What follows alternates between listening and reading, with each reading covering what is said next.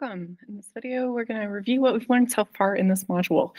Uh, so we're going to start off with some vocabulary. Uh, we've talked a lot about domain, and domain goes with our x values. It's all of our possible x values.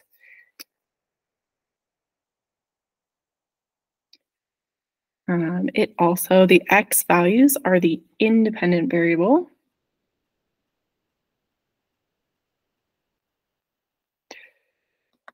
Um, other things that that goes with. So we have our x values, our independent variables. That's the first coordinate.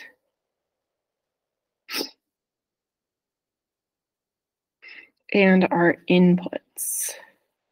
Okay, these aren't in any particular order. This is just all vocabulary that you should know is related to each other. So the domain is all of your possible inputs. They're the first coordinates if we're looking at ordered pairs. It's your independent variable which are your x values. So all of those go together. They're all things that are related to the domain. Whereas the range is all of your y values or the dependent variable. Uh, it's the second coordinate.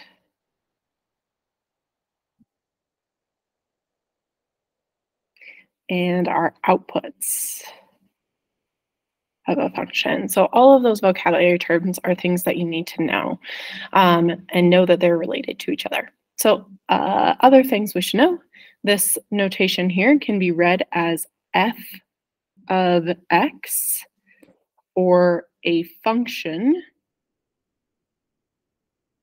of x and that's just telling us we have this function, its name is f, and we put x's into it. So it could also be g of x, h of x, k of x. So in an ordered pair, f of x is the y value. It's our output, and x is the x value. So the first coordinate is the x, the second is the y value or your f of x, the function value. Okay, so let's do some practice here together with some of these things with our function notation and domain and range. So the first thing we're going to look at is expressing a set of ordered pairs as a table, graph, mapping diagram.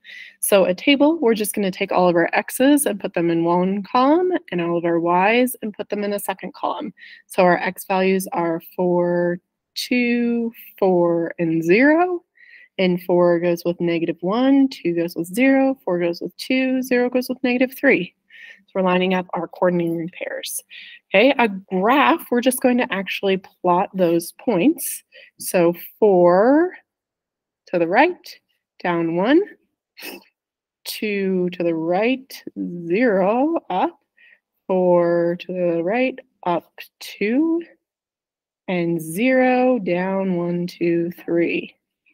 So that would be our graph of that relation. And a mapping diagram, we're going to put all of our inputs in one bubble. So we have 4, 2, and 0, and all of our outputs in another bubble, negative 1, 0, 2, and 3. Uh, make sure that you're not repeating any values. So if you have 4 more than once as an input or 0 more than once as an output, um, don't repeat that. So 4 goes to negative 1, 4 goes to 2, 2 goes to 0, and 0 goes to oops, negative 3. That would be our mapping diagram. Okay, so different ways to um, visualize uh, different relations, coordinate pairs, table, graph, mapping diagram. Now let's look at deciding if something is a function. So remember something is a function um, if and only if it has one um, output for each input. So each input has to have a output that is its only output. So on a graph, we can check this by looking at a particular x value. So any vertical line, well, that's not very vertical, um, tells me at this x value, which is a little more than one, it has this y value and this y value, so this is not a function because it has two outputs for one input.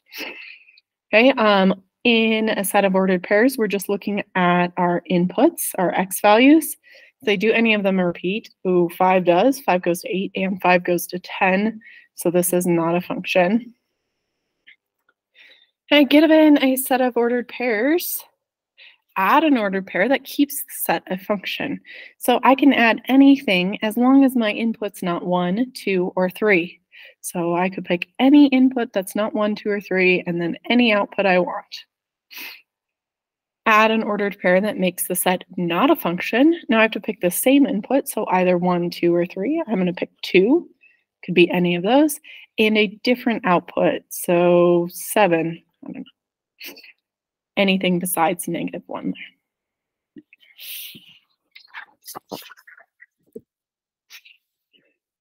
Okay, now we have some function notation. So we have this named function, f of x is x squared minus 1, and we want to evaluate f of negative 5.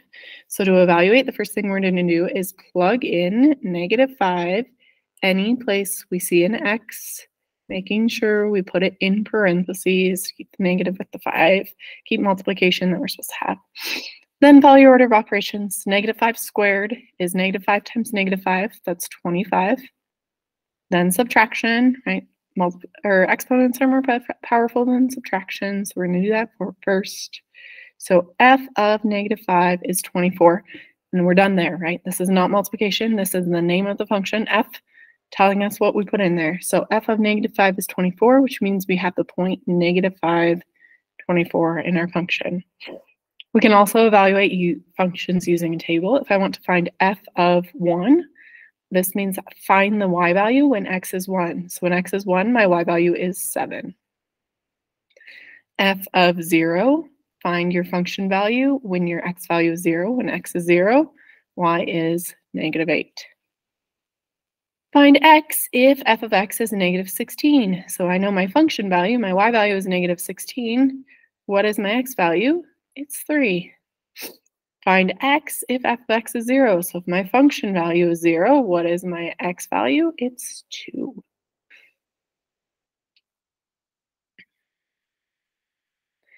Given f of 6 equals 8, identify the input or the independent variable. So we're looking for x. What are we putting in? We're putting in whatever the sky is. We're putting in 6. And we're getting out 8. Right, let's look at identifying the domain and range. So remember domain is our x values, range is our y, domain is all possible inputs, range is all possible outputs. So we can find domain and range of any relation. Um, so let's look at it from a few different scenarios. Here I have just a list of points. So my domain is also just going to be a list of values, all of the x values. So my domain is just these values. You don't have to write them twice if they appear twice. Usually good practice to write them it's smallest to largest. It's not wrong if you don't because it's just a list. Your range is just all of your possible y values. So we're looking here. Again, if they repeat, you do not have to write them more than once. Also good practice to write them smallest to largest, although it's not wrong if you don't. Okay, so if you have just a distinct set of values using these curly braces and listing the values. If we're on a graph and we're looking at a range of values, right, it's all of these values in between here, um, we are going to use our inequality notation. So for my domain, I'm looking from left to right. So this is going to continue going left, right? It's getting steeper, but it's still moving this direction and continue right. So it covers all of the values from left to right. So we could write that from negative infinity is less than x is less than infinity, right? That's what most of our inequality notation is going to look like. Or we can use the double bar r um, for all real numbers. Either is acceptable. Okay, our range here, range we're looking bottom to top, so I'm going to say at the bottom, well, this keeps going down forever, so I could say negative infinity is less than y is less than or equal to, it goes up to 4. Right? My y value right here is 4. That's what I'm looking at. Or we could just write that as y is less than or equal to 4. Either way is completely acceptable. Okay, see here, let's start with our domain. We're looking left to right.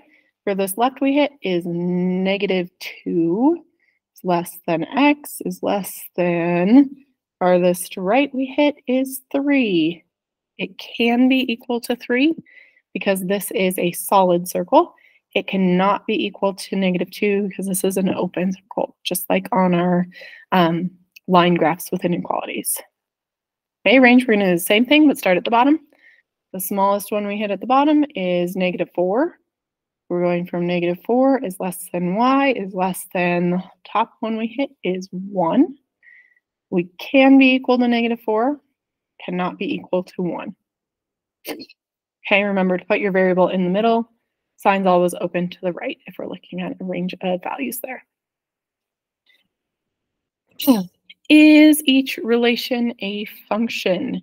So we're trying to decide if these are functions. So um, from a graph, we're just going to use a vertical line test. Anywhere I draw, ooh, this is kind of interesting right here.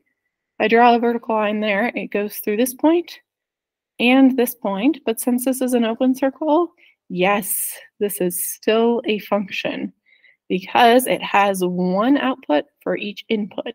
This one's a little weird, right? At this input, I don't know if that's maybe four. Um, it has that weird spot, but that is completely okay. Let's look at this one. Same thing happening, but this is filled in and this is filled in. There are two outputs for that input. Also here, there are two outputs for that input. So no, this is not a function. It fails the vertical line test. Over here, we're totally fine. I don't know why this open circle would be there, but there's a random open circle there. Um, but it's these two right there that are causing the issue. Okay, that is all we have for review. Thank you for watching.